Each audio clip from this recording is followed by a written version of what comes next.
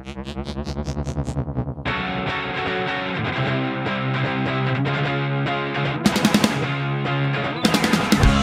Bigfoot Collectors Club with Bryce,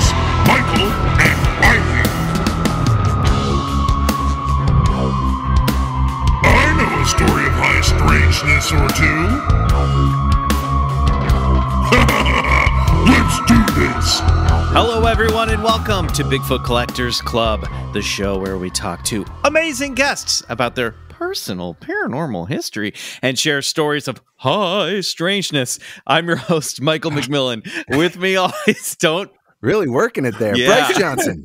I, I wanted to do like a cavalcade of fun voices. I'm in a good mood. Uh, on the notes. Bryce Johnson and our super producer. Riley Bray.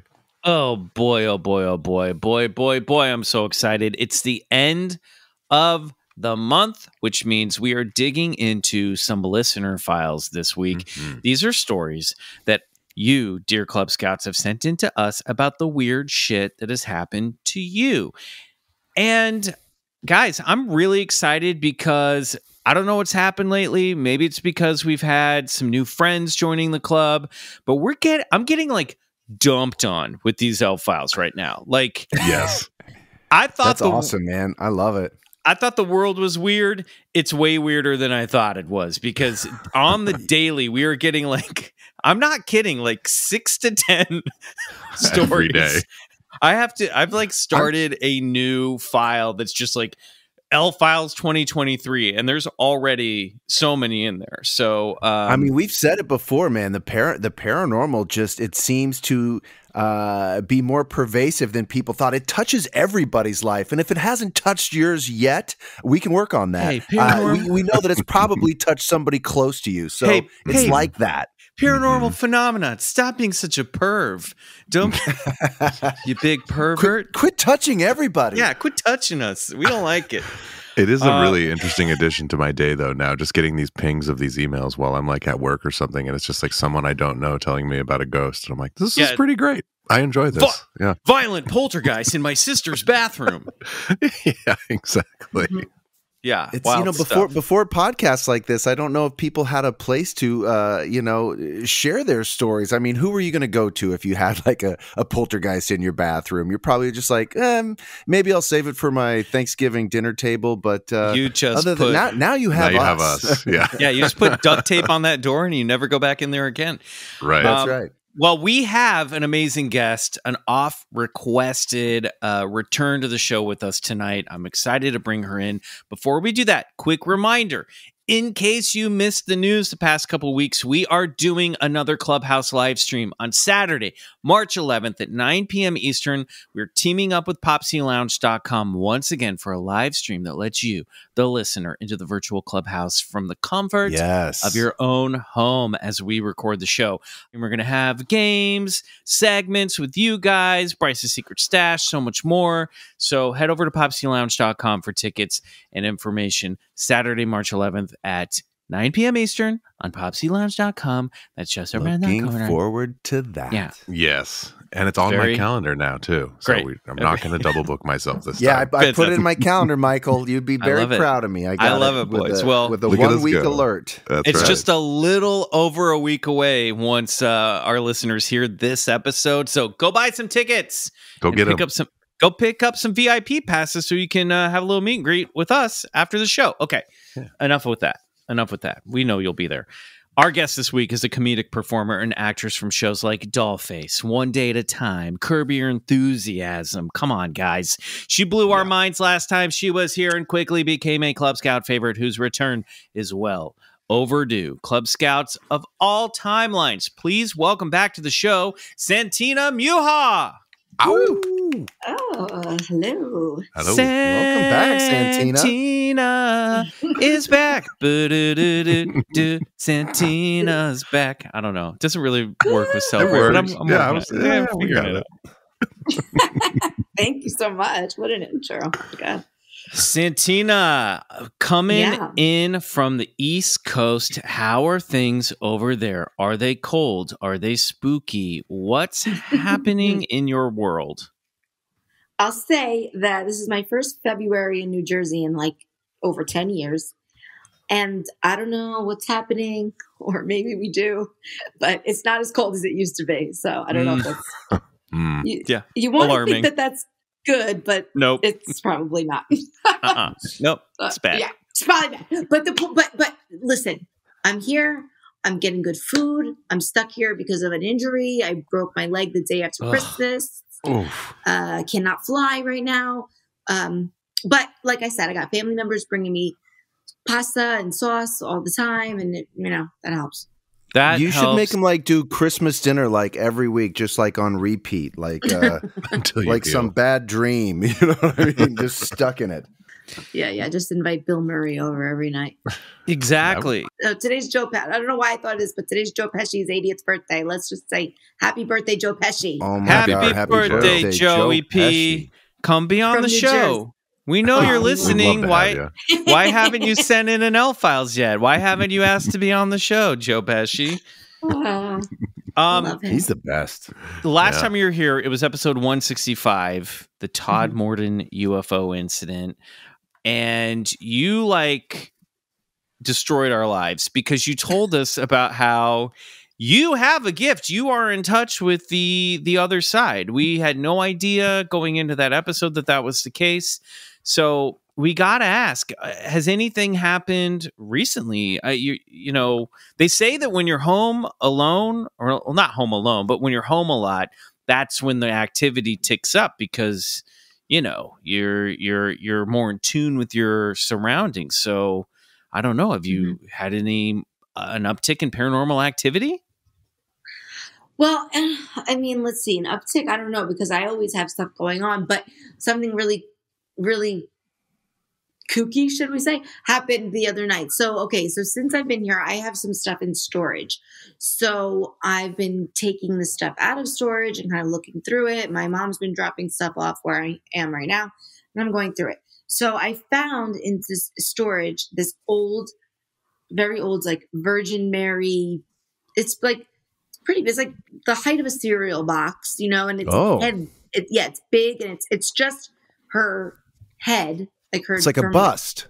yes exactly and it has like a nightlight it has like a little light oh. that goes like almost like the bleeding heart sort of virgin mary oh. and this sat on my nonna's and that's italian for grandmother on my nonna's dresser like you know my whole life when i was a little girl and it would be like bedtime you know the light would be on and you would know and it was very comforting and she i mean my nonna had religious artifact i mean the whole thing was like a church in there she literally one time got a statue from the church and put it in the backyard like a life-size statue of michael just So, do you mind if I borrow this? I just, I my backyard fountain needs a little something. I, I thought yes I thought you were going to say it. the the church made a statue of her because she was so No. devout.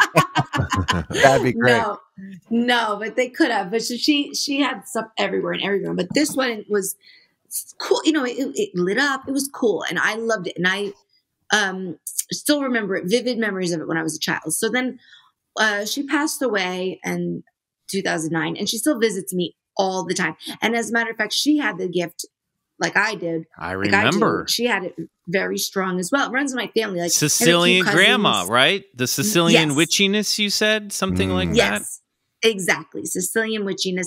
So we made it like a deep, we would always talk about when she was alive, you have to come visit me after you pass, like you promised. And she's like, yes, yes, I will figure it out and I will come. So, um, yeah, we I love talked that. about it.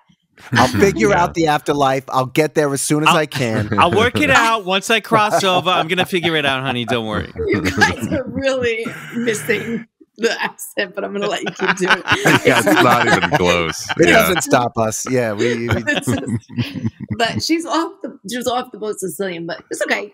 Um, but okay, so then here we go. So that, so I take this this Virgin Mary out of the thing, the the bust, and I'm like, I have I had it in my old house in a bag, but I never took it out of the bag because I'm like, well, I'm not, you know, I'm not gonna, I'm not that type of that generation where I'm gonna put religious stuff all over the place.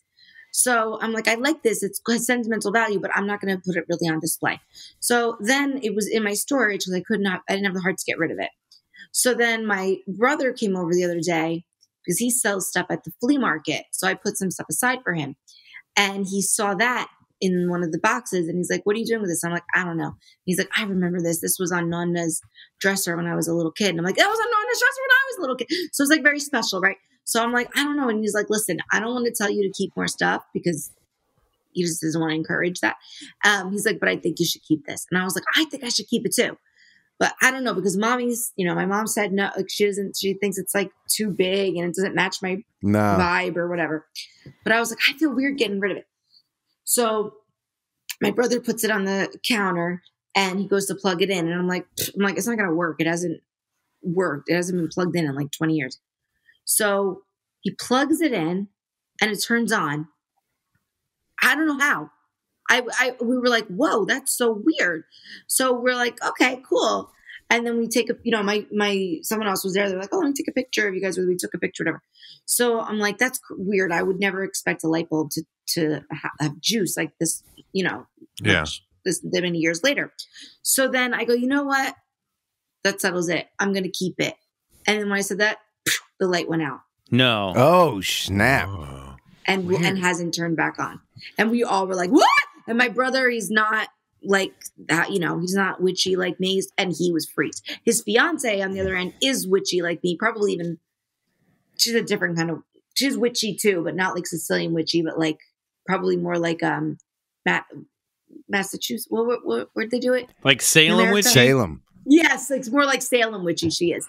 But so she was like, um, I feel something, I feel something. And I'm like, me too. So it was I had a lot of validation in the room. So it was good. Oh my, my, my, my, I have a little, uh, that's amazing. I have this light next to my bed and it, it, it talks to me. I mean, not talks to me, but it like, it like blinks like, like when I have like a thought, like something like poignant, which is not, not very often, but, but when I do, it'll like go, it'll like go blink, blink. And, and it's like, it's like as if on cue. It's like, I don't know. There's something about the, uh, Right. the afterlife and their ability to affect these, these lights and, and, Bryce, uh, like, Bryce, if you're open to it, Uh-huh. Bryce, you know, we've been Riley, doing yours this was in the show. kitchen. Yeah. We've been doing this show for six years almost. Fine, Yeah. I'll, I'll dial it Yeah. back. I'll give you less time. And you've never told us about a light that you communicate with in your bedroom. Why are mean- Why? What else are you hiding? Please tell us more about this light. I'm sorry, Santina. We have to find out. Well, it just is. Yeah, no, it doesn't. So it's it, it never like like Riley. You said yours in the in in, in the kitchen often will like you know it sort of kinda flicker every Yeah. every now and then. This this one doesn't flicker. So it, it only flickers like well, I guess I guess it does flicker. Wait, but, But to be only when I'm clear, like- I said I said mine flickers because it's an LED bulb on a dimmer and it just oh, flickers. Oh, right, right. Okay, But you keep right. going. I just wanted to clear yeah, that so up. yeah, my, mine doesn't really f- flicker unless I'm like, and, unless I feel like I have like, like a thought that's like sort of a, like a penetrating thought, or if I'm like, Like speaking what? to like a higher source or something, it'll like go click, Whoa. it'll go like flip, flip, like like. like very communicative, you know what I mean? Like you Mhm. get a sense that, like, oh, that's that's a sign. Gotcha. Like Stranger Things. Yeah, totally. Just like Stranger Things. Yeah, it's kind of fucked up. Once again, Bryce, you've given us information that is so oddly specific and yet so vague at the same time. You are just, you are my mystery, Bryce. You're my mystery. There's a lot more to come, my friend. Uh, yeah, man, th- I, I love some of those old religious uh, ar- artifices, like, and that that Virgin Mary's nightlight sounds cool as hell. Yeah, Um, I'm keeping it because you know what? As long as I don't surround my entire home with, you know, m- m- like rosary beads and all this stuff, then it's not Mhm. you're gonna walk and be like, "Whoa, Santina, when did you become?" You know, it's just like it will be. And anyway, I feel like Virgin Mary's making a big comeback in uh style wise. really? Hey, Yeah, I do. I'll be down. Where are we seeing? Where are we seeing like the Virgin Mary like hanging in out? boutiques, I feel like I see Oh. like little things of her in boutiques and stuff, and I'm like, okay, Mary, I see you.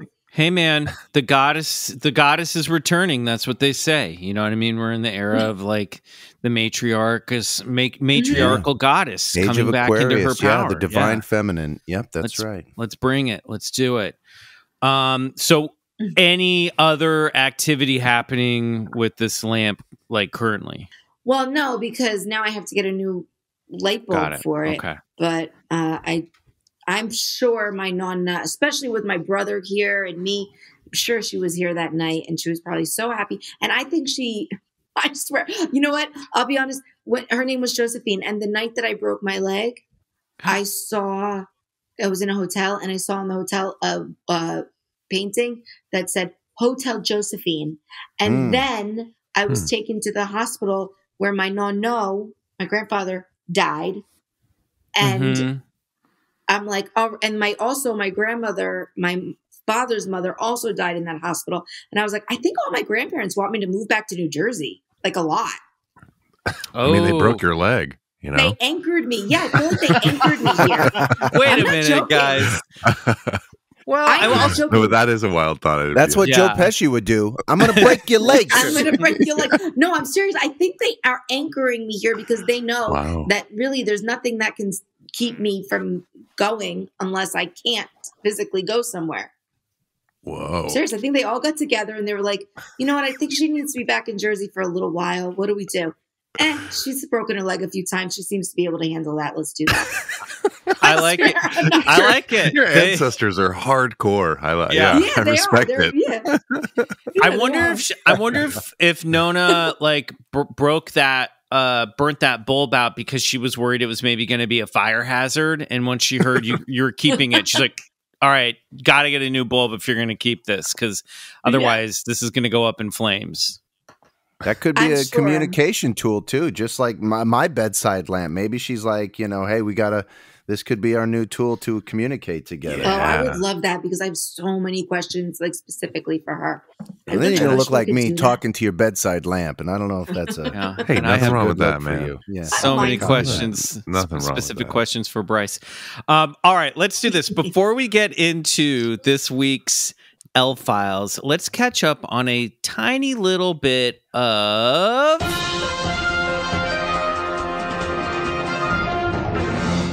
BCC News. Now, if you were over on the Patreon any uh, recently in the past few weeks, you might have um, heard our invention of something called the, the "fuck you" bucket. That's when we get upset and put something that we don't like into a proverbial bucket. And Yeah. shortly after the creation of the "fuck you" bucket, this article came out, and I sent it over to Bryce, and he Mocking immediately us. Yeah, truly. immediately immediately said it's going in the fuck you bucket um, Straight away.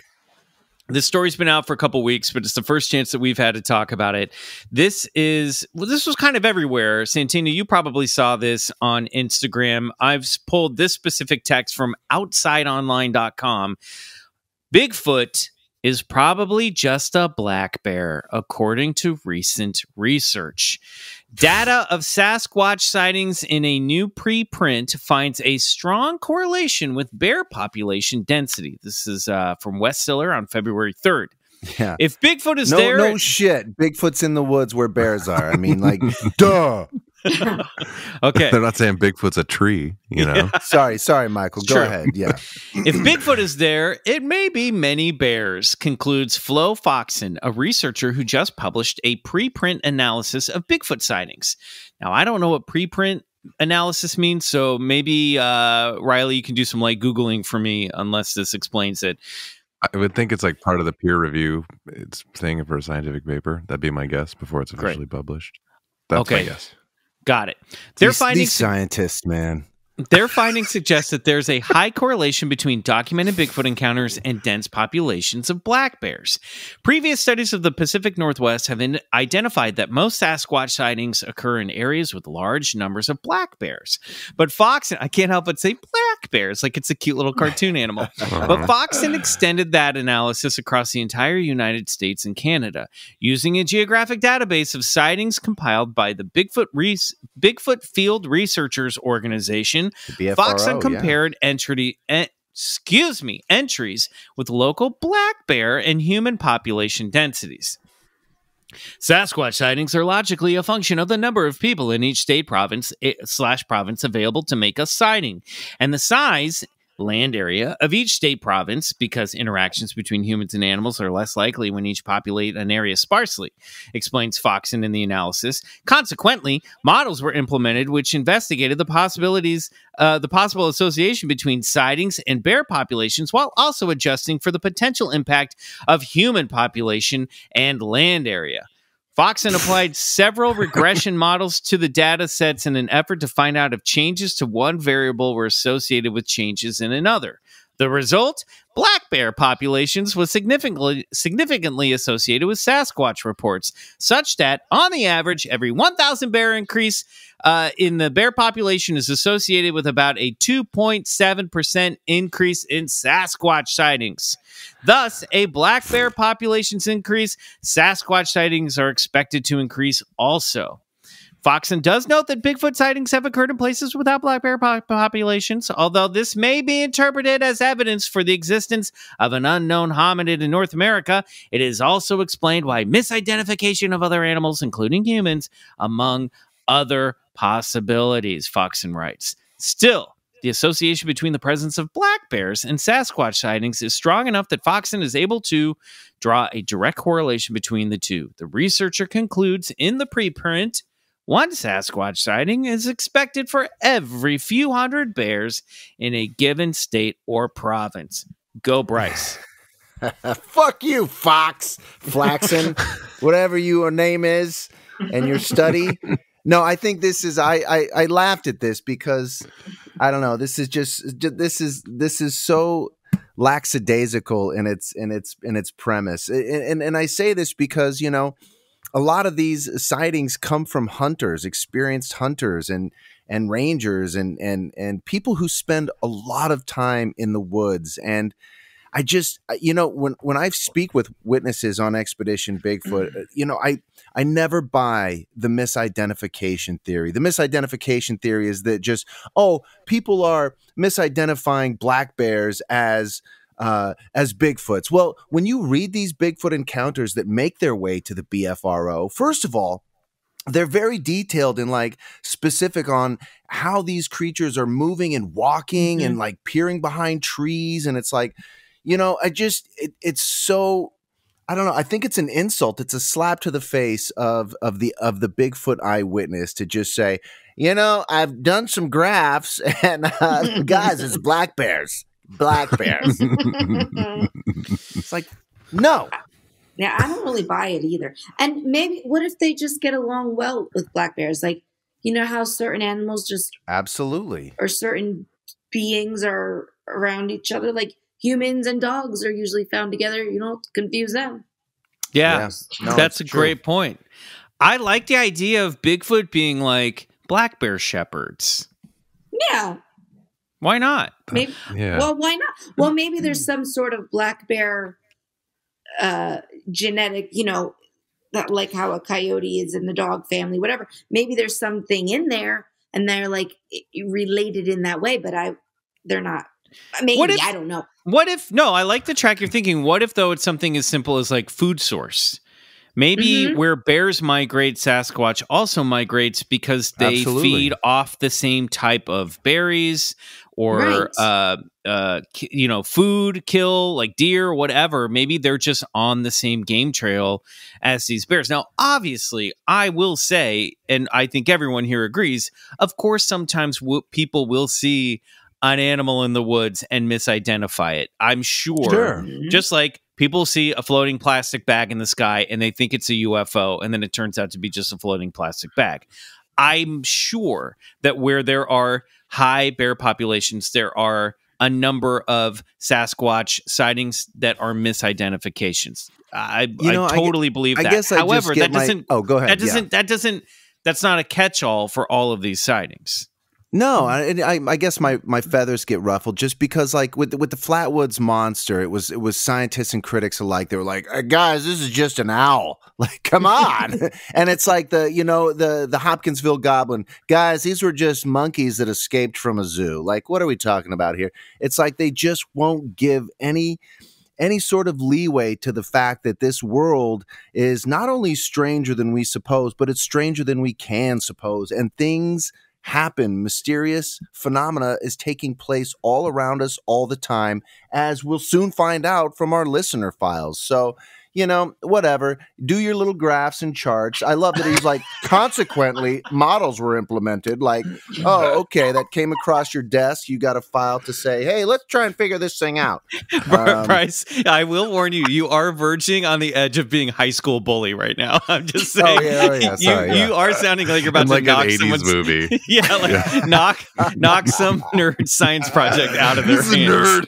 oh, no, I don't mean I don't mean to say it like that. And look, you know, I, I No, no, we know, we know. No, with- yeah, with- no, with those graphs are going and- straight into the fuck you bucket. That's where they're going going. right into the fuck you bucket. Yeah, exactly. Thank you, Riley. That's it. Look, I okay. we, we we on Get this it. show just always wanted to be a champion for the for the witness, for the experiencer of the paranormal and and and stuff like this. I mean, it's it's going to happen, you know, but it just uh it's sort of a slap in the face, and that's why I get so offended, you know. I get it. I get it. There you know what? In other words, the scientists, they're bullying you, Bryce. They're bullying you. yeah, I'm bullied. Yeah. exactly. All right, we're going to take a quick break. When we come back, it's time to hear from some of those eyewitnesses, our very own Club Scouts.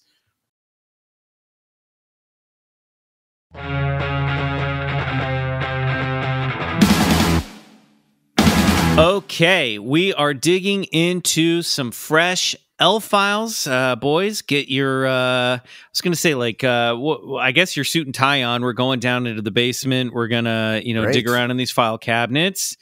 Um, and let's see. These are stories that people send into Bigfoot Collectors Club at gmail.com. So if you've had an experience you can't explain, then uh, please hit us up over there. Let's kick this off. Santina, you are our guest down here in the L Files basement. Grab a flashlight and uh, and and and let's let's let's break one of these open. Let's get to the bottom of something here. Okay. This is the Sneaky Mansion Disruptor. I was living in my ex's house with her. Spooky already. Her parents brought, bought this mansion and they were using it for an Airbnb. The mansion is located in Nephi. It's called the Whitmore Mansion. It itself has quite a backstory, and you can look it up on Wikipedia. We lived in the basement and we had guests come and go while we watched over and cleaned up.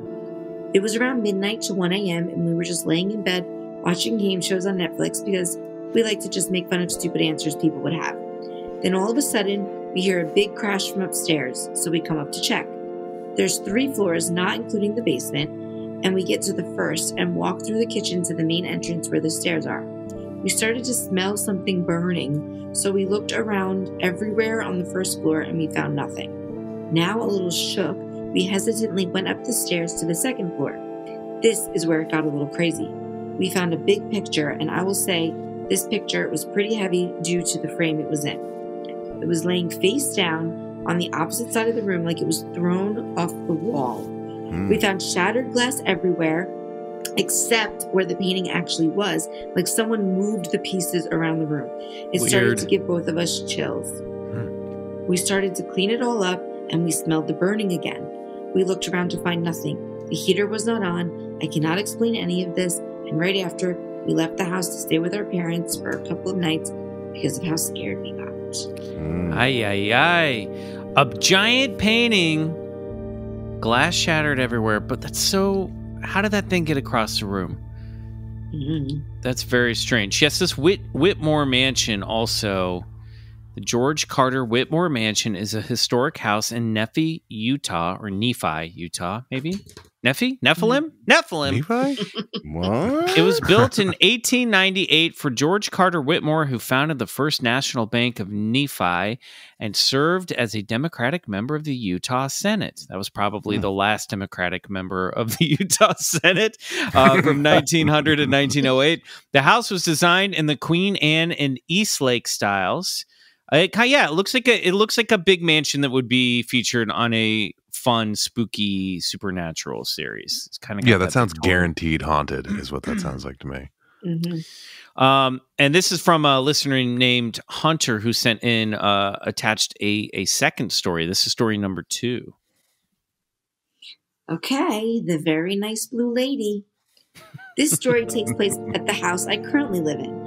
At the time of this, I was about 14 or 15. I was fast asleep, and it was weird because I had no recollection of dreaming at all this night. I randomly woke up. I didn't know what time it was.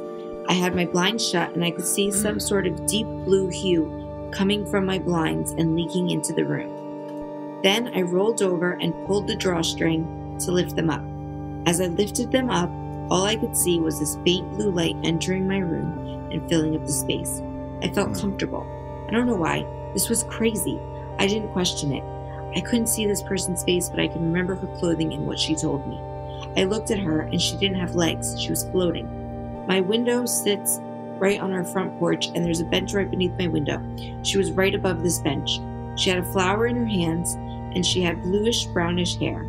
Her attire was an early 2000s wedding. Strange. Yes, strange because when did ghosts become 2000s? Is this- I thought they were colonial. That's how old we are. Ghosts are 2000s. yeah, ghosts Yeah. are really Right, into Y2K right. now. It's Also, along with the Whitmore Mansion, I might have to Google 2000s wedding look because I'm not Yeah, I'm sure that what that now. specific look is. Bryce, that's around the time you got married, wasn't it? Or Yeah, I guess so. Yeah, that is. Yeah. I'll, only on my wedding, I I fucked up and wore all white. I, I wish I could take that back.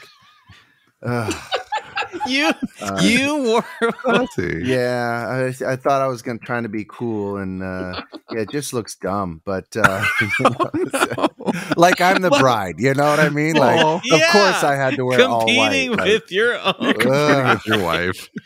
And Uh. now, after you pass, this is the look you'll be Yeah, stuck in forever. yeah. You're stuck in. Yeah, you're damned. You're damned, oh, no. I bought. I had this dumb white hat too, like this derby hat. I was like, "Oh, this is a cool Oh, hat," no. and I was like, Oh. "Ay, vey." That Not is a a. Club Bryce groom outfit if I've ever heard of it. oh yeah. So I looked up 2000 uh, wedding dresses. Yeah, these are. This is pretty nice. This is like something what Don wear wore. It's kind of just nice and simple, elegant. I could see it being ghosty. Yeah, for sure. All right. Hmm. The cover went over her face so I couldn't see anything. She then told me, Don't go, don't go, don't go. I still to this day do not know why she said this to me, but this was very weird, and this right here is the first time this story is coming out. Hmm. Thank you guys for taking the time to read all this. I hope you're successful in finding the man, the myth, and definitely the legend, Mr. Bigfoot himself. That's it. Stay Stay strange and please go get regressed. Hunter, wow. Wow, this is Mm. um so what do we think here now? Santina, you have experience in this department, a uh, a, a, a frame that's been thrown across the room and then a full formed apparition. Have you ever experienced something like like this before? The full formed apparition, yes, I have many times. glowing Um, like lit up blue like is does it look because the way this is described excuse me um i've got a little frog in my throat but the way this is described sounds like something out of ghostbusters almost you know what i mean like a, a blue glowing lady is that I have seen things like that, but the problem is it's quick. It's not like something I'm looking at for, you know, Mm. 10 seconds straight or something that I could make it out. But I actually, you know, when he says this thing about it's floating by the window, it that when I read this, it reminded me of something that happened to me when I was younger. And there was someone at my window, and it was creepy as It was so creepy because I was facing the other way, and then my neck just like turned by Hmm. itself and I looked at the other way at the window, which was the other wall, um, from the, from the one I was facing originally. It turned, and I was like, like, ow! Like it turned my something turned my neck, and there was someone Whoa. at the window. That was Oh. freaking weird. Yeah, and you felt what like a look like? turn your neck yes, Dang. yes. And That's then there was someone at the window, but he's describing a very like, ni- and most of the the apparitions that I see feel like co- nice to me. Like I said, and my grandparents and whatever, like th- those kind. But that one, that day, I remember being like not safe, feeling like not safe about it. i Hmm. don't like that yeah, what that did, was a s- spooky one. yeah bryce uh, i echo bryce's question what did it look like It looked like um it looked like a murderer. It looked like a 70s if oh, we're Oh, gonna no. go and use the it's not 2000s, it was it wasn't even the 2000s yet when this happened. So it was looked more like a 70s murderer man. Now I'm gonna Google '70s murderer. Yeah, see what comes up. like, almost like uh, the- the- it's a the white Twin suit with a white bowler's cap. Looks like me. Great. it, it looked like something out of Twin Peaks almost. He Oh, looks like. Whoa. yeah, it was, ter- like it was really terrifying. Um, and I kind of forgot about that. But when I was reading this story, it reminded me of that moment in my life, which I didn't totally forget about. I, I don't like that story. I try to forget about it. It was a bad one. I don't have a lot of bad Yeah. ones like that. Yeah, I don't. And the I picture don't like flying that across either. the room, that's just evil. That's just black. I don't know what that was. But that's Yeah, not then like a nice little message. There's that No. smell, that burning smell too. There's always some like sulfur smell associated with with that type of. Yeah, it's Mm. weird. That reminds me of Spider One and Chrissy Fox's story about the their big heavy movie poster that went flying off. Yeah, it the reminded me of that too. Yeah. Do you think the Yeah, ghosts in that mansion were irritated that it was becoming an Airbnb, and so they Probably. yeah. I would because I bet it was that. Yeah, I mean, my neighbor tried to turn the apartment next to mine into an Airbnb, and let me tell you, I was pissed off.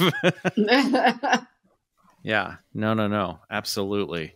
Well, thanks, what Hunter. Do you think Thanks. about. yeah, Well, I have a question. What do you think about the ghost saying "Don't go, don't go, don't go? Good that question. Sad. That does sound sad and lonely, and that if she was in a wedding dress, it's all very. That's a that's a that's Oh, a sad no. one. Yeah, Oh. I don't know. I, I have a. har- I, I'm still trying to figure out what these. See, when you hear something like that, like the "don't go, don't go," it's it sounds like uh, some sort of traumatic event caught in a Mhm. loop. You know what I mean? Um, Mm. Like it doesn't seem like some sentient apparition that's you know uh, conscious and able to. Yeah, visiting. It just seems like some sort of. Uh, some some memory some attached to an apparition you know i don't know I mean, it It's makes you think like, did was she left at the altar and then died Yeah. sad, or you know, Mhm. or did the two of them die on their wedding night or something? It's really. Yeah.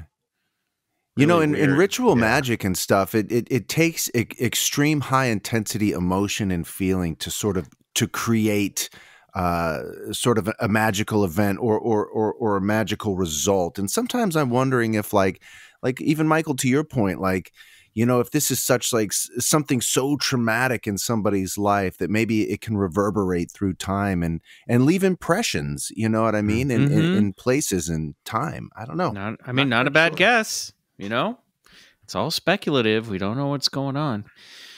All right, thanks, Hunter. Riley, what do you got for us? All right, I have a strange case of astral ejection. Oh, Story. Okay. Yes. All right. Yes. Here we go. In 2020, I was in college when the virus hit. And with it, so did a rolling depression that took everyone over. This obviously comes with a mass quarantine, of course. Not everyone wants to be forced to stay in their dorms for a whole semester. God, that would If suck. I wasn't doing, yeah, that really, oh man, In a I feel college for all, when that it- were in all I did college in when freshman it year is make out with every stranger. How could you go through college without making out? yeah. It's true. That's I'm with you, Terrible. Santina. I was like, hey, if there was like a couple, you know, good looking people around, I was like, I'm hey, gonna go know. ahead and guess that they were all hooking up in this Yeah. storm. I will. You you gotta yeah you gotta hope all right uh, Okay. if i wasn't doing schoolwork which i barely did to begin with i was sleeping or gaming. I had no roommate at the time so there wasn't anyone to talk to or hang out with even if it was involuntary. I'd laid down after a long day of doing jack shit and promptly fell into a toss turn kind of sleep. When i finally settled i remember suddenly waking up standing in the humid warmth of a south texas summer night and I could feel the scratch of grass against my bare feet as I stared directly at the complex that housed my dormitory. There was no stepping out of my body or anything, just immediate exile from my own body into the world outside. Oh, wow. I remember I remember standing for a long time, feeling sickly and uncomfortable before I heard someone yell at me. The voice was a woman's, and I could see flashes of her appearing in my vision as if she was barely clinging to reality herself. Her hair was white and messy, and her eyes were stark gray like cold concrete. She screamed at me that I didn't belong, saying, You need to go back. You can't be here. And she continued howling at me to return to myself. I began running, but not a solid sprint. It was the slow motion, sliding kind of run that didn't get far very fast. I ran for hours, dragging myself towards my dorm's door. I could see the light of the sun coming up behind me by the time I reached the door, and when I grabbed the doorknob, everything went silent except the sound of the door opening, which finally woke me up. I sat up and looked directly at the face of someone peeking into the dorm from the open door, directly staring at me in my bed, before he slammed the door shut, leaving me stunned and afraid. I don't know what happened, and quite frankly, questioning it makes me panic a little. What do you Mm. think happened? Your accidental astral traveling friend, Kel. Whoa. Yeah, that's trippy. Wait. Uh, Also, very uh, poetically told there. Uh, great, great letter, Kel. Yeah, Um, fantastic letter. I had a little light bulb go off hearing Yeah. Okay. this. Now, in this is a story where someone sees a sort of ghostly form who says, "You need to go. You need to get back." Right? The blue Mhm. lady in the previous letter was like, "Don't go. Don't go." So Oh. what if what if when we're seeing these ghosts or these spirits, part of us is crossing over as well? You know what I mean? sure. Oh, yeah. and we're stepping through a threshold and maybe that ghost the blue lady was like don't go meaning don't go back to terra firma because then i i won't be able to communicate you won't be able to see me you know what i mean and i desperately want Mhm. someone to see me Mhm. whereas Right, this so one instead of them coming through, we're going through. yeah we're both Right, getting on the yeah. line we're both we're, bo- both sort of entering a, a crossover zone you know what i mean Okay. Yeah. where we can see them and they can see us. And so that's the thing is maybe maybe that blue lady understood oh they're th- we're overlapping and i don't want them to step out of this overlapping zone right Yeah. the twilight zone maybe that would be a good name Yeah. for it And then- Absolutely, man. and then in this one with somebody uh, yeah i mean i think kel's guess is as good as anybody else's this is like some astral traveling it sounds like i don't know But that part at the end where someone was actually at the door that Kel had dreamed themselves going up to and opening, it's like it's so deeply surreal. Like, is that yourself opening the door, coming back to yourself? Like, what? maybe Or is that just hmm. the brain heard someone coming down the hall and it reassociated that as that's the moment I'm waking up and somehow it all just clicked together? Or, you know, it's, I don't know, whatever it is, it's just like, it's like deeply surreal and very Yeah. Uh, I, cool, honestly. Yeah. Yeah, I got to get to the bottom of this astral traveling thing. I've got to read that book and see if I can't uh, get get out of my bed a few nights and try that. That's talk to your It lamps seems- see if they have any suggestions it's right. Yeah, yeah, not, not a bad idea because it does seem very different from from lucid dreaming. You know, um, 'cause- Yeah. And as as Kel was describing, he it seemed he seemed very sort of uh, aware that he was outside of his room and on the grass, and uh, it does it does have some of the hallmarks of this astral traveling. Um, very strange. I don't know what to make of it. santina do you feel like you've ever left your body and projected around Yeah, I'm, um, I told the story on the last one, but when I had my car accident originally, Mhm. when I was a little girl, I was after the impact, I was looking in the car from through the through the front window, like through the Mm. windshield into the car, rather than where I was in the back seat looking forward. I was outside of the car looking in, and I saw my body like hunched over, how it you know went over, and that was wow that was my main one. And then I've had a few of these dr- ones that are happening sort of in my sleep, but I have no idea how to control them. I have no idea how to like hone this thing. So I don't, I'm like, I'm just like this guy. I'm like, what? What the hell? You know, what just happened? Yeah. you know, I guess the one thing that ties, and I guess uh, did did you ever feel sort of connected to your physical? Like, uh, so with this astral projection thing, there one thing in common seems to be this sort of cord uh, that connects your body to uh, to this spirit body. There's always like this connecting cord. Um, Mhm. So it's like a string. You're attached to like a kite on a string. Whereas with lucid dreaming, you could you know travel as fast as thought wherever you'd like to go. Um, so I don't know. Did you when, when you're next time? I guess you experience that. Just is you know maybe see if you see that connective cord. It's usually attached to like uh, your body. I don't know. Well, you just unlocked a memory for me, which is when I was younger, after this said accident, I had several surgeries because Mm. you know, there was a lot of internal bleeding and blah, blah, blah. So I was having several surgeries. And there was one time that I can remember. I don't know now. So I felt like I was out. I was watching the surgery. I was watching it from the outside, and I could. And that cord you're talking about, I did experience that. But then I started to wake up, and then I remember I could hear someone saying, "She's waking up," and then they put the uh, mask over my face Hmm. to put me back to sleep. So I kind of woke Oh. up mid, Whoa. like I was waking up mid surgery, but before I woke up, before I woke up, I was watching the surgery from outside with this cord attached to my body, like you just Yeah. described. Wow. I remember that. That was crazy. Yeah, I remember that. That was weird. That's wild. Sometimes, sometimes this is like maybe I don't know. Is this bizarre? Sometimes I'm like, was that surgery or was I abducted by aliens? That's what Yeah, I I- think sometimes, that's- especially when they go. She's You're in the right up." place to ask that question. I know. Yeah. I thought so. Yeah. I don't know. I was What's the- probably surgery just based on the odds of how many surgeries I've had. But and then I watched that movie Communion. You know, um, I read the book and then I watched it, and I was like, I was, I felt like PTSD or something while I was watching it. It was like more than Whoa. scared. No, for sure. Wow. This surgical aspect is a part of the abduction phenomena. As a, as a Mm. matter of fact, I just ordered. It, you know, uh, we had great guests on last week. Uh, the the the filmmakers from the Ariel School Phenomenon documentary, and uh, you know, in that documentary, they speak with Harvard psychiatrist Dr. John Mack, who was really the the the leading uh, researcher uh, into the abduction phenomenon, and uh, you know, there there is this there is this strange thing where, uh, yeah, people are always end up on some type of surgical table, and there's Mhm.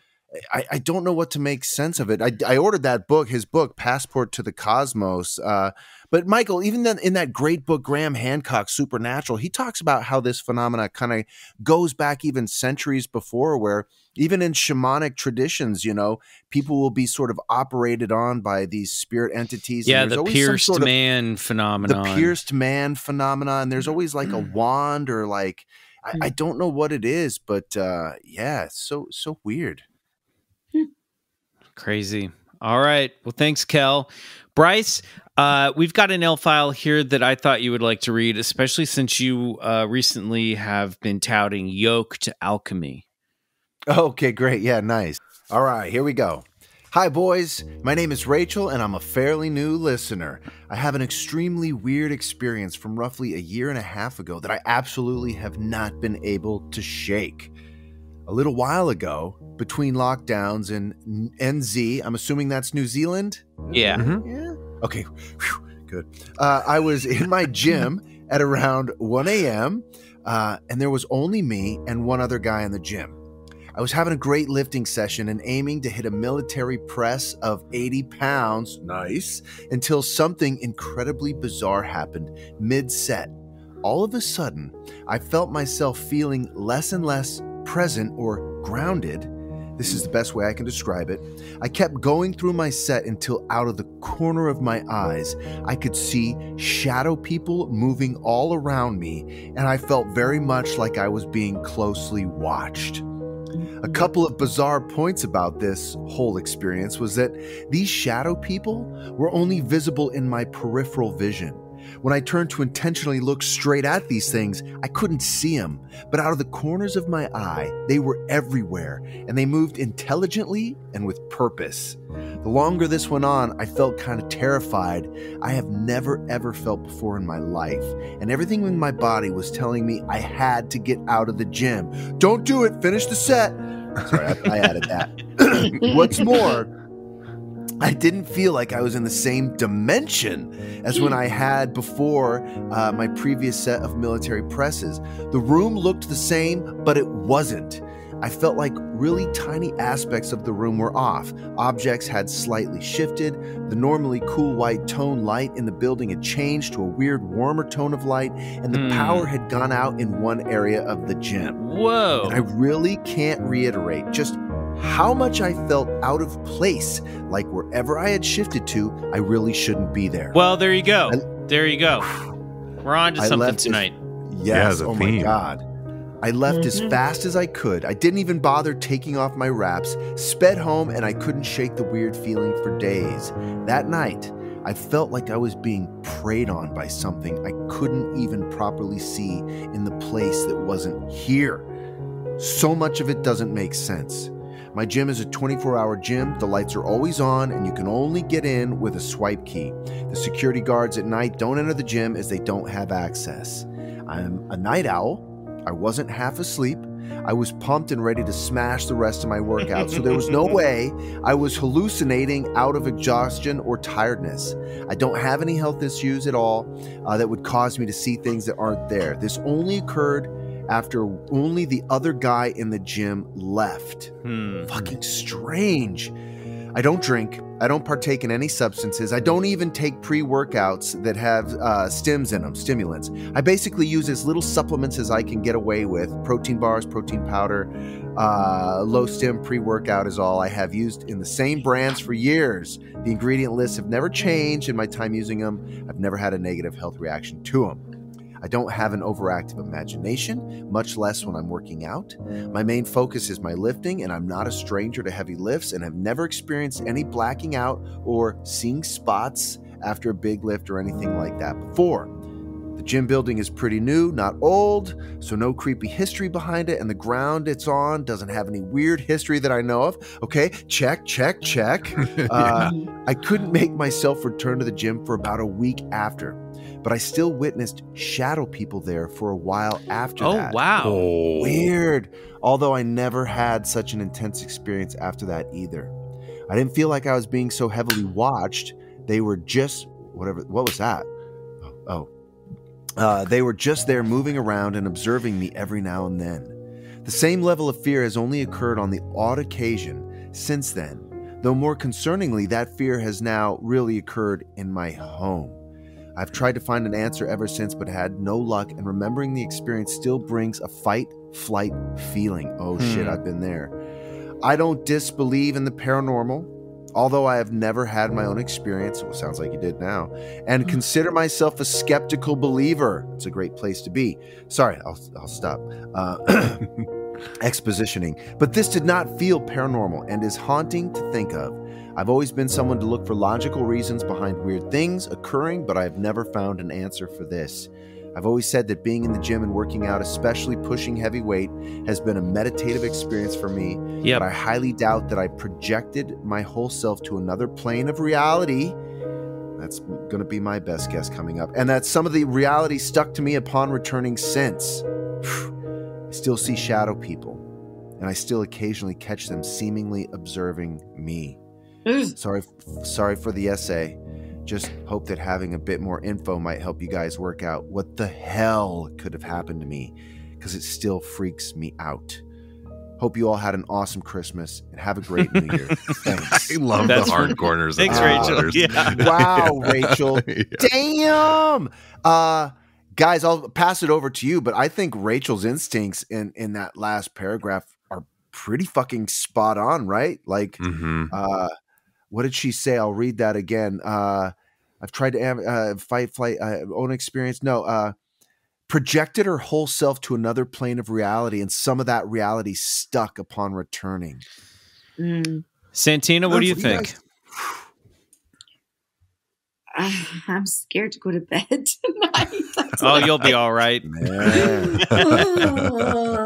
I don't know. I mean, yeah, it sounds like I, I'm not saying that you know working out like um that she pushed herself too hard, but sometimes working out can be sort of meditative, and when you're meditative, that's how you can Mm. maybe slip through these worlds a little bit, Yep. Mhm. Yep. Yep. perhaps. Yep. That's Yep. that was where I was going. Rachel, first of all, I wish I had a tenth of your discipline. Yeah. And Yeah. it does sound as if you are Rachel, you are like you you've built a practice, right? And and Mhm, and, and mhm. Rachel even says in the letter that sometimes they get into a meditative state. So Yep. I, I'm wondering if she is just like maybe had a knack for this stuff and didn't know, Mm-hmm. but maybe this is sort of like how how she's ended up tuning her instrument. Like And- through disciplined ritual. Yeah, like, just in the, working in out the, and lifting in weights. the Yeah. way that like other people like get there through again like meditation or doing some sort of ritual practices that maybe there truly is some yoked alchemy happening here and you know what i mean Yeah. Yes. Mhm. Yeah. i don't know and and and i wonder and i don't mean to freak freak rachel out but like projecting your whole self into another reality i mean maybe it's not that dramatic maybe it's just that you're getting your body into such a peak state and that maybe Mm. at certain times when you're in that disciplined mindset that is at some point you are going to be like i really do think you do cross over just mentally into a higher Mhm. realm that maybe Yeah. it's just tuning your frequency into seeing again what what the first two letters sort of touched on that maybe there's you know an overlapping dimension that you're like tuning into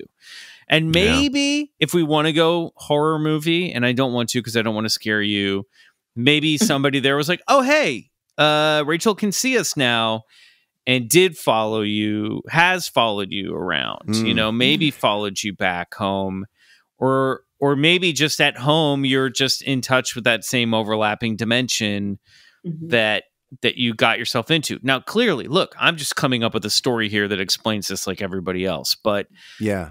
I I can would- add to this too, Michael. Yes, I think you're I think you're close, man. Uh and I'll tell you why. Because okay, so I've been practicing some yoked alchemy lately and after my and you, you said it, it is it is a ritualistic practice that uh that can actually become quite meditative and and and and when I sometimes like so when I finish a workout, sometimes I'll do a cardio, which gives me this great opportunity to tap into this liminal space, and I use that time for for vi- felt visualization. it's And it sounds transcendence, like- right? I mean, Yes, they say the same stuff with like they basically say like any like that's why like the you know the the whirling dervishes like spin or Mm-hmm. That's there's right. people That's who like dance right. themselves into a transcendent experience. Sex magic is one of those things. I don't Yep. see why Yep. working out This- and building a disciplined practice might not put you in a different headspace where you're like well, and you could have some gates. accidentally sort of activated some kundalini energy that might have just, you know, e- exploded at that time and, and and sent you into another dimension. Now, the shadow people, that's a little disturbing. I mean, we don't know how many dimensions really exist, so I'm not sure where you ended up and what you might have brought back, or hopefully nothing. But I would say, you know, if I had any advice to proffer, I would be like, you might want to find something that like is personal to you, like a talisman, whether it's a piece of jewelry, uh, it could be anything, anything uh, that you bring to your gym routine, and uh, you know, I, I, I would, I would probably go ahead and and and uh, pour maybe some do salt some around your of a- bench press. no, but like uh, maybe what, what's the word am I looking for, Michael? To to to uh like a to ward. mark this no to to to use this talisman to like uh, ritual to uh do a, a ritual for this talisman as a protection ritual. That's Yeah, what i was looking for. Yeah, a ward. yes yes. And and then that should be able to help.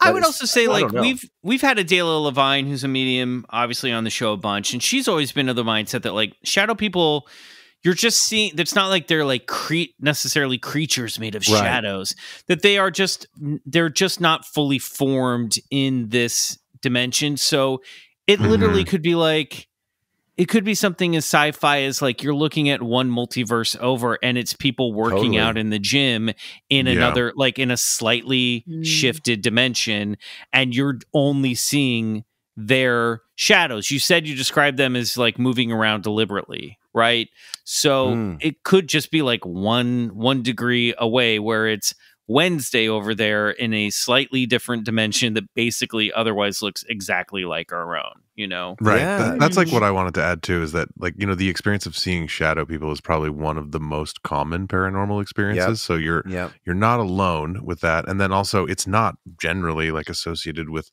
actually bad things happening. It's a scary image like the shadow person, the the dark figure, you know, of course that's like a frightening image, but it's not necessarily associated with s- negative things happening. And I mean, I would my like two cents would be like maybe if you if you see one or you feel one watching you like maybe just don't look away just like look back and like really get a look at that shadow person you seem like the kind of person that would that would stare down a shadow person so i say uh i say peer back She did use Also- that word fight or flight though too, which tells me that this is like a height like the body is Mhm. is the the whole the whole body is is is experiencing, you know, like that fight or flight, which is a which is a very visceral response. So hmm uh yeah, yeah, you're right. I like this idea Push of, through uh, it. Push through uh, it and stoically look back.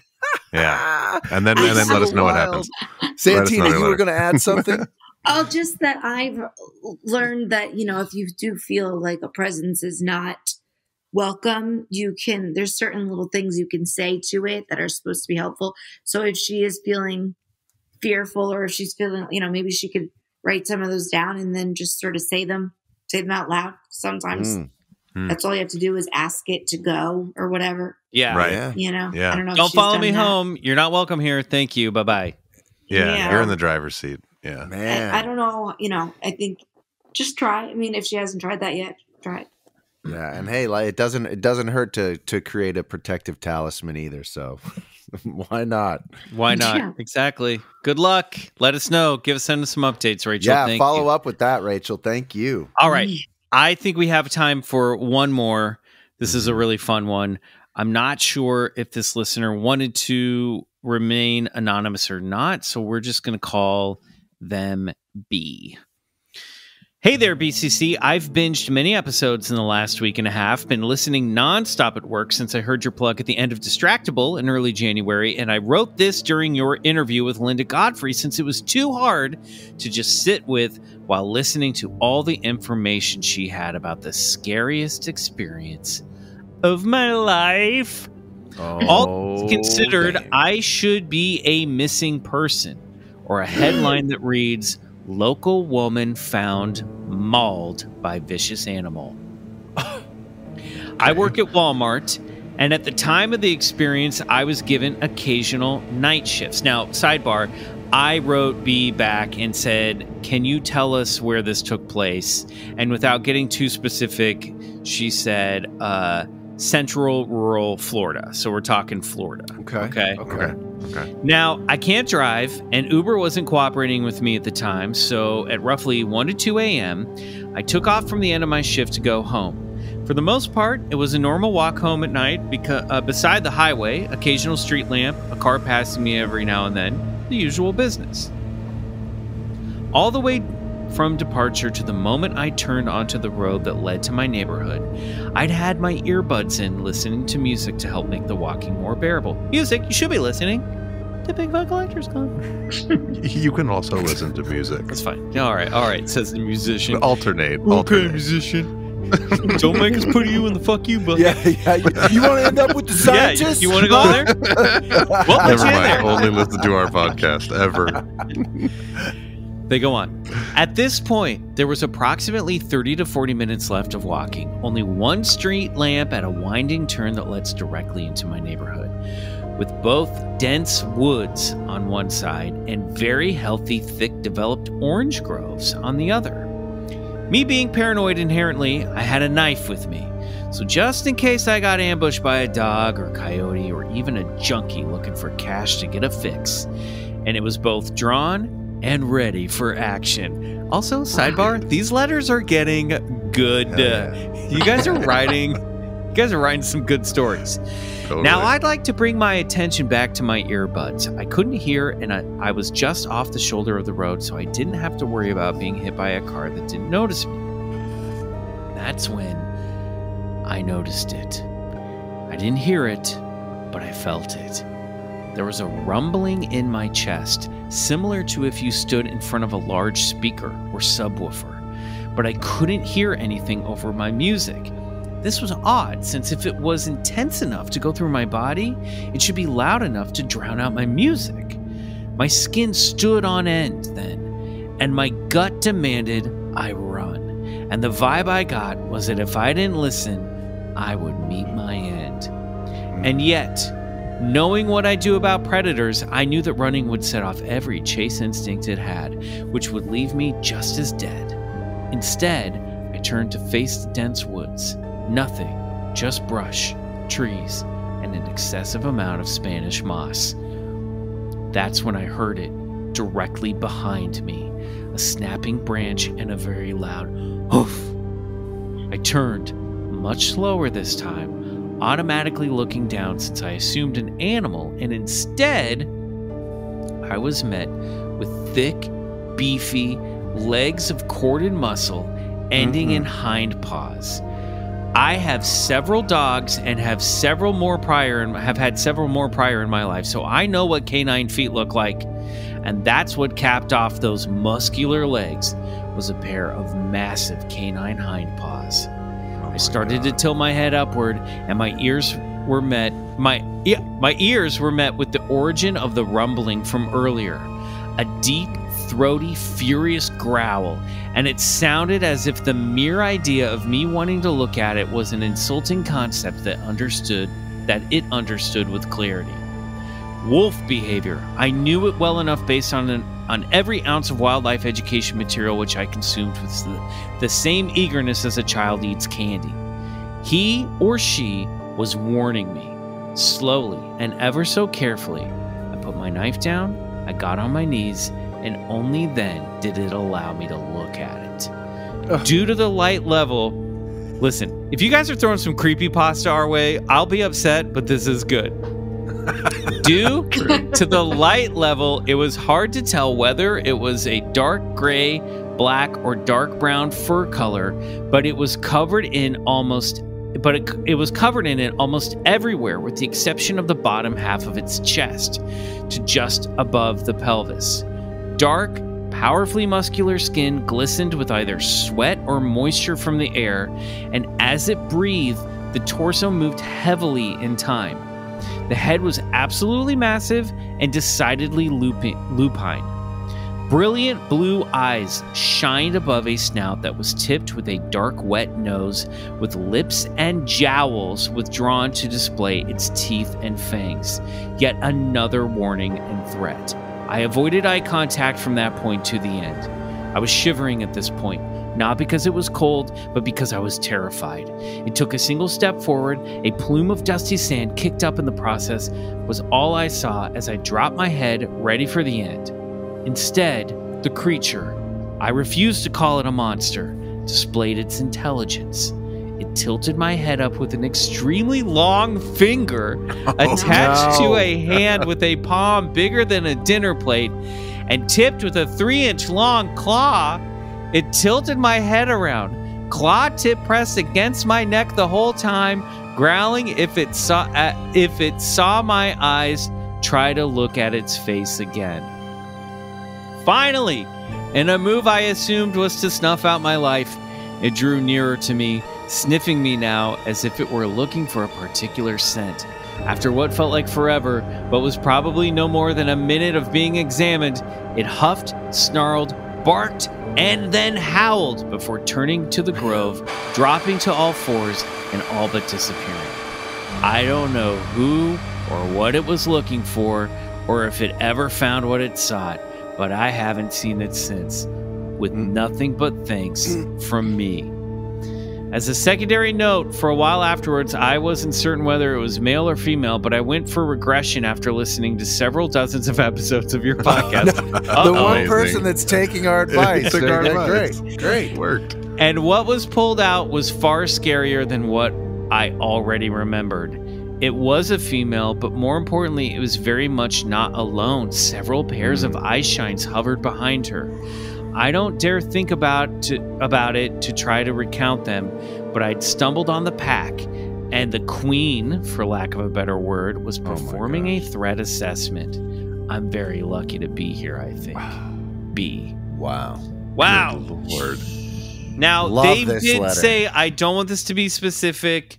They just said central to rural Florida. I mean, now this is a wild story, B. I'm not saying it didn't happen, but that's some very, very vivid detail. And uh, I guess what I'm trying to say is my mind is blown by Mhm. this Florida beast man Yeah. Well, look these these or beast dog woman, men- I should say. Beast woman, yeah, yeah. beast woman. These these dog man, the Florida dog she woman beast. sightings have been occurring more and more uh, in the last, I would say, I don't know, uh, thirty to fifty years, as Linda S. Godfrey can attest.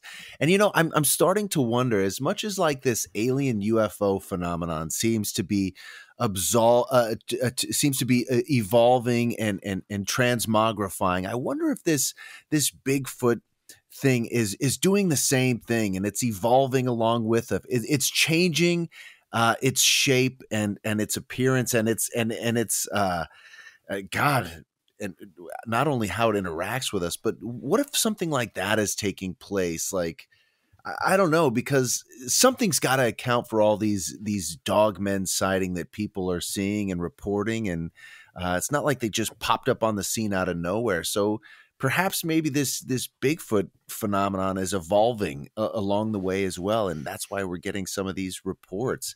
Either way, this is a sickening encounter, and holy shit, man, I love it. I love that. That's crazy.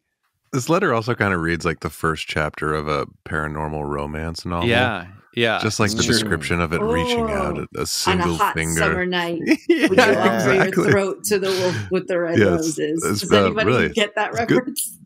Oh, It's a Meat Loaf song. ah, there it is. yes. How could I not? Oh my god. Like Nice. a bat out of hell. So it's a sexy. It's like one of those. That actually, Bad at Hell was the first CD I ever bought. To be, if you want to know the truth, and I remember hearing that song and being like, I feel a little interesting right now. Oh God. sexy, sexy wolf. Yeah. Nice. Sexy Wild. wolf lady. I don't know, Santina. What do you think? Dog man, dog woman, are they out there? I mean, I don't. Uh, that's a new one for me, but I don't not believe it. But also, yeah, this person should also be a writer. Very Yeah. poetic. Like Very truly, I want stuff. I want more chapters. Take this The and run with it. yeah. Yeah. I, I like that. She, I like that the the the wolf beast of Florida, as you as you coined it, Michael, was like, "What you want? to You want to look into my eyes? Are you sure? You want one more chance to do that? Like, oh, just horrifying. Yeah. Yeah. The clawed finger Yes. reaching out is really an image that will haunt me. Yeah. Yes, it was very alpha energy. So it does make sense that it was like the leader of its pack, sort of. The queen. Yeah. Mhm. I love it. That. I want Maybe this whole a- universe. I want to know everything. I know, This, maybe- this needs to be an HBO uh, series. Maybe this is all cross. You know, maybe all of these things are just crossing over from other dimensions. Maybe that's the unifying theme of the night. You know who could Or go against the? Uh, oh, go ahead, Santina. I was Yeah. going to say maybe female werewolves are like, hello, where's our friggin' movies? Ever Hey, think of that? Return of the Goddess. Am I right? right. That's Teen right. Werewolf Bechdel test. Come on. Yeah. instead of like in. Twilight, instead of Twilight, where it's like vampires versus werewolves, it could be like uh, she beasts versus yoked alchemists. Yeah. Whoa. Great. I like this. All all outside of Walmart. You know what I mean? In Yeah, perfect setting. Perfect setting. Great stuff. Uh, Love a mini mall with a Walmart, a gym, Mhm.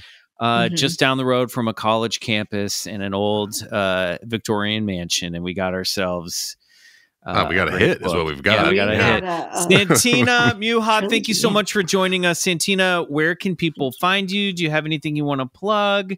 Uh, Instagram, whatever. Come on. What, what, what do you got? Yeah, I guess if you want to follow me on Instagram, you could follow along with whatever. Right now, you'll see a lot of uh, what I've been eating and the progress of my leg uh, fracture. But uh, when things come up, yes, that is where I will uh, promote them, as I will Awesome. do uh, with this episode of this podcast. Fantastic. Well, I Well, know. We're all wishing you a speedy recovery. Yes, exactly. Thank you. My sentiments Thank exactly. You. And uh, I know we'll have you back here uh, on the show sooner rather than later. We won't go as long as we did because we you've always got great stories and I think really wonderful insight. And I know uh, you're just the perfect brain that we need while pouring through Mhm. these L Yes, files. and So get another thank light you. bulb for that uh, that Yeah, Virgin Mary night happens. lamp. Start talking to that thing. Yeah, I, I'm let gonna. us I mean, let us know. for sure. Yeah, let us know for sure. you and Bryce can start the lamp letters where your lamps can become pen pals, talk to each other. oh my gosh. Okay. Awesome. Thank you, Santina. All right, Club Scouts, this is the part of the show where we ask you to show your love for BCC. Please follow, rate, and review us on your favorite podcast app. If you write us a five star review on Apple Podcasts, we might read it on the show, like this one. Chill Tony 21 writes BCC really leaves you thinking. a lot of what ifs, could be's, and why nots. I definitely will be listening to every episode. Five stars. Thanks, It's Tony. just that simple. nice. That's just Tony, all I gotta chill. do. That's a chill Perfect. review, That's Tony. a chill review. It really is. yeah. Lives Yeah. up to the name. That's what we do here. What if, why not, and could be. It could be. Yeah. Yeah. Why not? if you love BCC and need more of it in your life, check out our Patreon, BCC The Other Side, for three bonus, exclusive, additional episodes every month. Uh, bonus and additional, same same word. Uh, a little Oh, yeah. redundant, but by the time you hear this, there will be get get a load of this, guys. There's going to be 250 bonus drops over oh there, My God. including awesome. full length episodes and cosmic tracks from super producer Riley.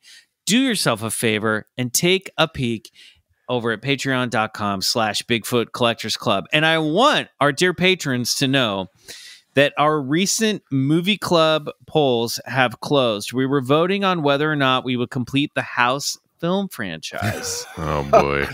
and the results are in. Boys, are you ready for this? I have not. Uh, yeah, sure. Now I love, you know me, I love House 2. I was ready to go on to House we 3. we know. Um and uh I had it here. Hold on. Oh man. I oh, you're oh, you really know building I, the tension here. I accidentally deleted it. Crap. Well, I'll let you know. Oh wait, Wait, I have you it over deleted here. the post. I did delete the post. I deleted the screen grab on on my thing, but I can tell you this. Uh, I can't tell you the exact percentage, but the vote came out, and no, we will not be continuing.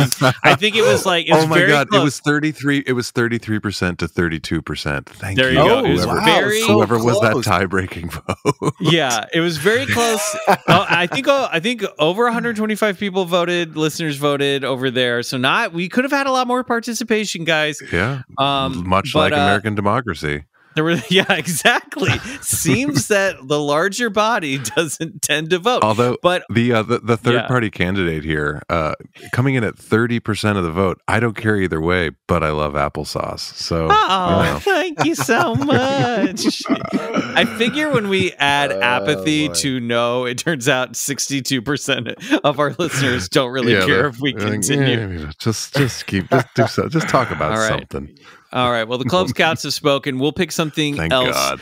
uh, for our next movie club session, which will be coming up in a couple weeks. So come over to patreon.com slash Bigfoot Collectors Club. You'll find out what it is there. All right. Be sure to follow us on Instagram at Bigfoot Collectors Club and on TikTok at BCC Pod. And don't forget to write in with your own paranormal stories to Bigfoot Collectors Club at gmail.com so we can include them in a future L Files episode like this one and, and put L Files in the subject line just in case I miss it. Please check out my other podcasts. Slit Your Name seasons one and two are available right now on whatever wherever, whatever podcast app you're listening to right now. Follow me on Instagram at McMills and hit me up on Cameo for a personalized video from me to you or a loved one. Yeah, that's right. You can find me on my socials as well. I'm on Instagram at Mr. Bryce Johnson and on Twitter at Bryce O. Johnson. Hit me up there. And I'm Peace Drone on Instagram and also on Cameo if you want me to sing you a song. Sing a song. All right. Sing Speaking of singing praises, we're going to do some Patreon shout outs. These are loyal Nice. Club Nice. Scouts who joined the other side. I want to say recently, but we have a backlog of these to do. So sorry it's taken so long. Here we go, boys. You know what you know what to do, starting with Bryce. Oh, yeah. Merlin mm-hmm. Grubbs, Thanks, Merlin. Von Schroeder, Thank you. Kevin DeVis, Thank you, Kevin. Jake, Thanks, Jake. KDNC, Thank you, Katie. Nikki Rotunda, Cosmeteer. Many thanks, Nikki. Welcome. Rob Whitaker, What's up, Rob? Thank you. Allison Brilke, Thank you. G Baller 22, Cosmeteer, Woo, thank you. Riley, I feel like you should hit all those Cosmeteers. Look at all of Sure. them. Should I just take the Cosmeteers? Sure, You go take yeah, the other take ones? the Cosmeteers. Let's change it up. Let's change it Uh, up. switch it up. We're flipping Craig it. Temple, Craig Temple, Craig. Cosmeteer, Thank you. Thank you, Craig, and welcome. Fawn Oriate, Cosmeteer, Righteous name, Thon. Thank you to the co- Now that's you. a Cosmeteer. Welcome to the Thon Cosmeteer, and thank Yeah, you. Yeah. for sure. maybe our Yeah. first alien You, listening you to this belong on the show. Cosmeteer for sure. Yeah. Uh, Jeff Stewart, Thanks, Jeff. Stephen Whitmore, Thank you, Stefan or Steven. We appreciate you, man. Thank you for covering me. Paul Roberts, Cosmeteer. Thank you, Paul. Welcome. Kirk Palmerton, Cosmeteer. Kirk Palmerton sounds like a like a real like sounds like he should be in like the like one of these 70s bands. Like a you know, like Kirk Palmerton Oh, and yeah. Easy Rollers. You know what I mean? right. Something like yeah. that. Yeah, he plays synth. Yeah, Yeah. maybe guitar. Yeah, I love it. Welcome to the Cosmeteer. Thank you. Josh, Cosmeteer. Josh, thank you. Thanks for joining the ranks. Caesar, Thank you, Caesar. On Ondeg, Thanks, Ondag. Mariah Stark, Thank you, Mariah. Carrie Bickner, Cosmeteer. Thank you, Carrie. Welcome. Mickey Hoffman, Thank you, Mickey. Andrew, Thank you, Andrew. Brooke Page, Thanks, Brooke.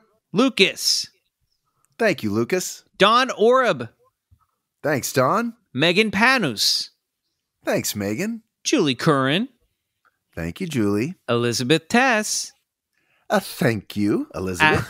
Ashley Bloom, Thanks, Ashley. Shannon Cole, Thank you, Shannon. and Nora Jane. Thank you, Nora. All right. We also want to thank Santina one last time. If we don't see you over on BCC the other side, uh, we'll see you back here next Wednesday for an all new episode of Bigfoot Collectors Club. Until then, good night. And go get regressed. Bye bye.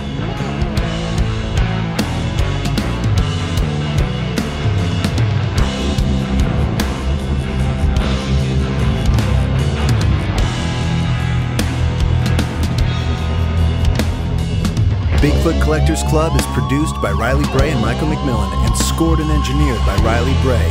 Our theme song, Come Alone, is by Suneaters, courtesy of Lotuspool Records. Do us a favor and support the show and unlock three bonus episodes every month by becoming a member of our Patreon, BCC The Other Side, which can be found at patreon.com slash Bigfoot Collectors Club.